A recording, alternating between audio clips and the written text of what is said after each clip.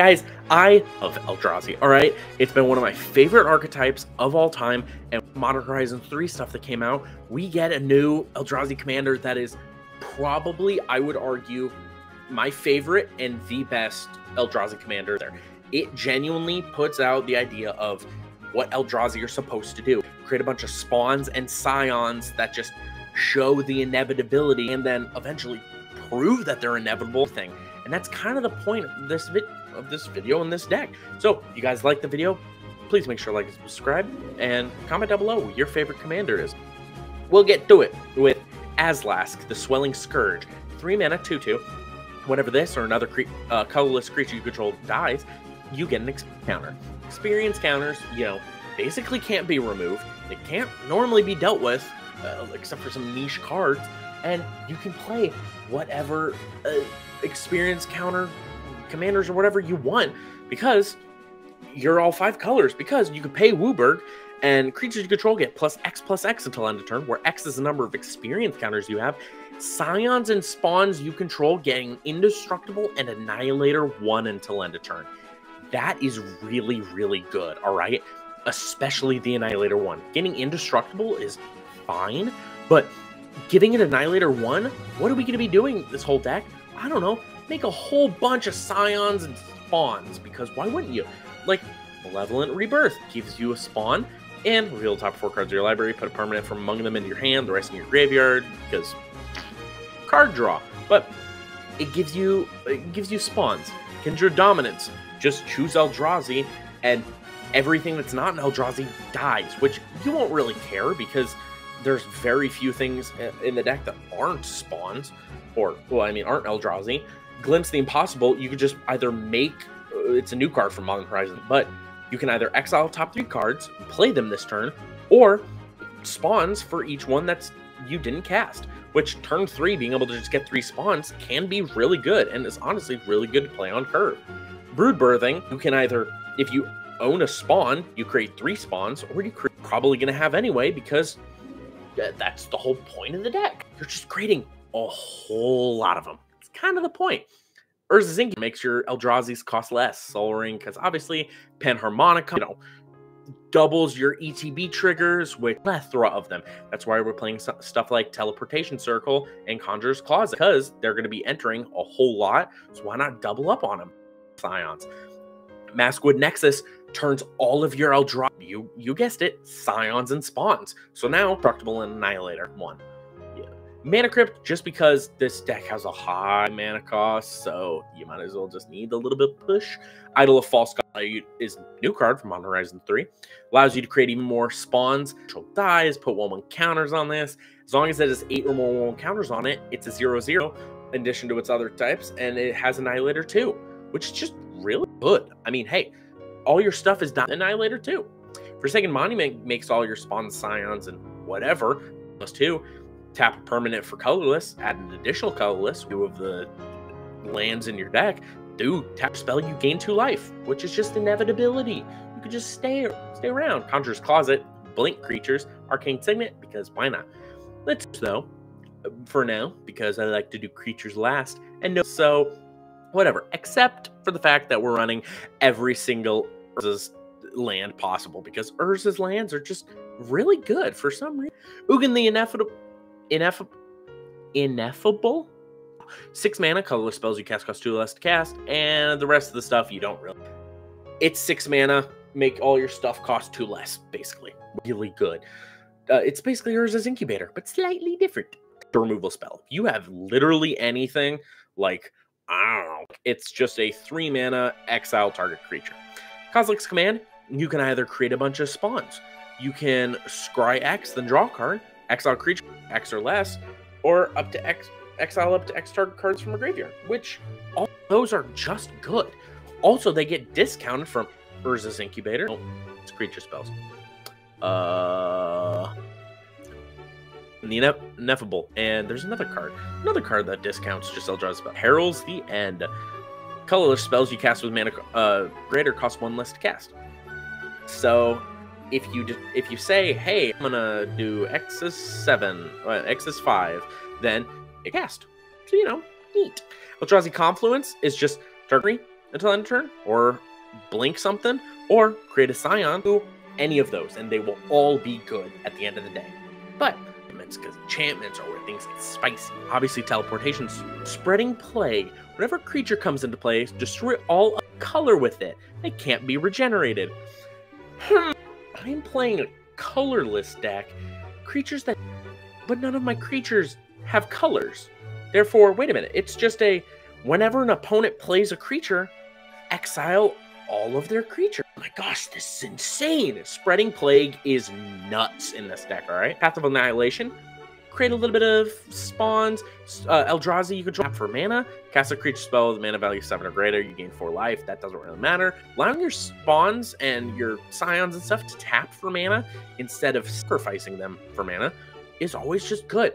You can also tap it mana, then sacrifice it for another, meaning your spawns and tap for 2 Well, tap and sacrifice for two is really good. Parallel Lives every single token you ever create. Kozilek's Unsealing is just, oh, cast a, a, creature spell, mana value 4, 5, or spawns, which is actually quite a bit, quite a number. But cast a creature spell, mana value, draw 3 cards, like Kozilek. Kozilek single-handedly draws you 6 cards. The old Kozilek, not the newer one, because the newer one, do I have it the, I do have the newer one, because the newer one is also neat. Impact Tremors, just every time Scion and a spawn enters, you deal damage. I mean, yeah, they're majors, but like you're really caring about Scions and spawns. Garruk's up trample because Azlask does not give things trample. You may know just having stuff gain trample is always just good. Also, a little bit of card in doubt. From beyond, just put a bunch of search for an Eldrazi card, reveal it, put it in your hand, then shuffle. Echoes of Eternity which is a new card from Modern Horizons 3 as well, is just nuts. I mean, triggered ability of a colorless spell you control or another colorless permanent you control triggers. That ability triggers an additional time, which is basically all of them. Cast a colorless spell, copy it, may choose new targets for the copy. Excuse me? You get double on double everything and double triggers on your doubles? This card is nuts. It is insane. One of the best cards to be ever printed. Totally was a mistake. 100%. Has to be. You just tap for mana instead of just you know having to sacrifice them. Black Market Connection create you 3-2 Scion spawns. Can create you treasures, draw you cards. Good. Awakening Zone creates spawns. Arcane Adaptation makes everything you have Scion spawns. Uh, Anointed Procession doubles your Scion spawn creation. Though yeah, as you can tell, we're making a whole lot of them. Like a whole buttload lot of them. But now we're on the creatures. The cream of the What are we going to be using the mana for? What are we going to be blinking? What are we going to be cheating out for utter bullshit? What are we going to be... What are we doing in it? I don't know. I think uh, Chrysalis creates more spawns and sacrifice an Eldrazi. Put it's also 2 3 3 reach. So blink it, make more spawns. Make more. Why not do all the above? Ulamog the Defiler, which is Modern Horizons 3. There's a lot of Modern Horizons 3 cards in this. But cast a spell, target opponent exiles the half of their library rounded up. Ward, sacrifice two permanents, which is always just good. But seven mana, I mean 10 mana, 7 7, enters the battlefield with a number of 1 1 counters on it equal to the greatest mana value among cards in exile, which can be utterly nuts. I mean, that's a huge boy. And has Annihilator X, where X is number of 1 1 counters on it. So if you exile, I don't know, somebody's omniscience from their library somehow, then this enters as a 1717 with Annihilator 10. Nuts. Utter nuts. Thief of Existence, cast a spell, exile up to one target non-creature, non-land permanent. An opponent controls mana value 4 or less. If you do, this gains whenever this creature the battlefield, target opponent draws a card, which is always just good. I don't mind exiling literally whatever whatever I want, basically whatever I want. And yeah, you can draw a card. I don't really care. I'm going to be exiling a really good thing. Spawnbed Protector. At the beginning of your end step, return a, Eldrazi card from your graveyard hand, which is just always nutty. And create two 1 1 Scions, which you always create the Scions. You don't have to return something from your graveyard. It just says return from your graveyard to your hand. Cool. And then create two 1 1s cool, which pair really well with the commander. Spawn-Gang Commander. Speaking of commander, it's the 2 2, cast a spell, create 3 0 1 spawns. You can pay two and sack Eldrazi and deals two damage to any target, but that doesn't really matter. You're going to be blinking this like every chance you possibly can with Conjurer's Closet and Teleportation Circle. To, oh wait, it's cast trigger, so maybe not blink, but Snapping Void Craw, three mana, one three, can tap to add two. You can pay four and tap and draw a card. So if you need a little bit more card draw, Sifter Skulls is just non-token creature you control dies, create a one-one Scion things are going to be dying anyway because people are going to be targeting you to high health. So why not just get something out of it? Roaming Throne triggers literally whatever you want. I mean, just name Eldrazi, something triggers, triggers an additional time. Ulamog, something that put in the graveyard from battlefield, so dot one spawn. It's always good. Here, uh, that's one. That's one of like the only cards in this that's not an Eldrazi, but it creates Eldrazi's, so it's always good but you can make an Eldrazi from anything. Otharri Sun's Glory. I almost didn't put in here until I realized how utterly broken this is. It's a 5 mana, 3 3, flying lifelink haste, which is already good. Whenever this attacks, you get an experience counter, which pairs really well with the commander because experience counters are not hard to get, but like you just they're hard to deal with. And then create two uh two two Red Rebel that's tapped and attacking for each experience counter you have, which can always just be its own separate win con in and of itself. But at the end of the day, it's just good to get even more. And then pay four, tap an untapped Rebel you control, and return this from graveyard to the battlefield tapped. I mean, hey, why not just keep bringing it back? Bringing it, bringing it, bringing it back. Bringing it, bringing it, bringing it back. Fireball. Uh, do, do, do, do, do, do. Uh, Null Drifter is obviously cast a spell, draw two cards. It's 4 4 Flying Annihilator 1 that it can evoke free. It's basically just like uh, the other card, not Null Drifter. Uh, the other Drifter. It's a it's a freaking popper card. Oh my gosh, why can't I remember this? I don't know. It's the Eldrazi version of it, so it's got to be good.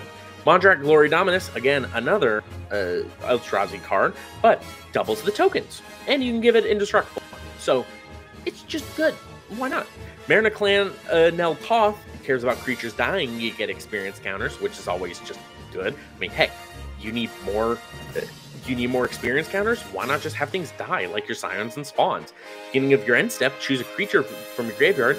If the card's mana value is less than or equal to the number of experience counters you have, return it to the battlefield, which is nuts. Or otherwise, put it in your hand. I don't mind. I really just get more experience counters. The new Kozilek from it, uh, from Modern Horizons, though, cast this spell. Two uh, two players each manifest two cards. For each card manifested this way, you draw a card. So give it to you know, give it to the spell player. Give it to the person who doesn't have a lot of creatures, because manifesting can always just be ugh. Whenever you you know playing against somebody who plays a lot of creatures, then have to flip it over and they can do something. But other colorless creatures you control get plus three. That's insane all your scions, all your zero ones suddenly become three threes. Uh, yes, sir. Kozilek Butcher of Truth, cast a spell, draw four cards, 12 12, Annihilator 4, whenever it goes into the graveyard. I mean, nuts. Love card draw. Into the Herald's the End is 2 mana 2 2 that colorless spells you cast, mana value your cost one less to cast. Other colorless creatures you control at plus one plus one. One ones and your zero ones, and uh, one twos and one one one, two, twos, respectively. That's just good. Hideous Taskmaster, full of a bunch of stuff, is a 7 2 with Trample, Haste, and Annihilator. Gives those creatures Trample, Haste, and Annihilator 1 until end of turn. I mean, it utter, it's utter nuts how cards like this were even created. Like, insane. Herald of Kozilek, color spells you cast cost one less to cast. See a theme here? We're to be discounting all this stuff and just playing it for whatever, and they're to be doing insane stuff to us. Glaring Glaring Flesh Raker is a 3 mana 2 2, cast a colorless spell. Whenever another colorless creature enters battlefield under control, it deals 1 damage. I mean, hey, I'm just saying its impact tremors on crack. Just means, you know, you create more spawns and counters, and then you could buff up, I don't know, that Ulamog we were talking about earlier, number of experience counters you are, well, you have. I mean, hey, you could just make it even give it a more annihilator, and then a bada bing, bada boom, you've killed everybody you were playing the game. Also, another one of those non uh, creatures, but nobody really cares at the end of the day. Watcher, just another thing if you want to blink, because it creates a, bunch, a couple of scions. Guy spawner, again, creates a couple of that creates scions as well. Repurposer casts a spell, and whenever it dies, it creates some, you know, it's always neat. Eldrazi Displacer is another just something you would just blink it for three mana. Drowner of Truth, you can either create some spawns or you can play the other side and uh, this and that. It's always just a good time. Conduit of Ruin, first creature spell you cast each turn costs two less to cast. Oh, beautiful dose, but mostly because whenever you cast it, you search your library for colorless creature card. If mana converted mana costs seven or greater, reveal it, shuffle your library, and put that card on. Oh yeah. Oh yeah. Insane. If you can immediately draw it and then do whatever you want with it.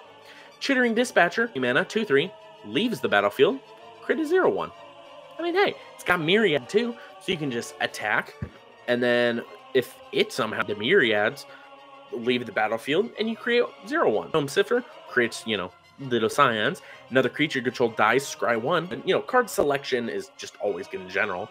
Brood Monitor enters, create three scions. So blink that to high hell, why don't you? Blister Pod dies, create a scion you know, it's just always. Artisan Kozilek just returns creatures from a graveyard to the battlefield, which is always insane.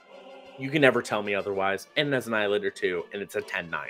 So, yeah, just saying, yeah. Adrix and Nev doubles your token. Because why not? Why not create even more? Obviously, there is a bit of setup with this deck. You do kind of got to slowly get there and there. But once you get this deck rolling, it's absolutely insane, nutty. The late game potential in this is insane. Have 4.08, and mostly just because, you know, it's Eldrazi. You got to have some of those high costs. This is color distribution, which is wonky. But if you guys like this uh, deck or like the video, please make sure to like it It means a whole lot to me. I'm on the road to a thousand subscribers. I think I've already said that.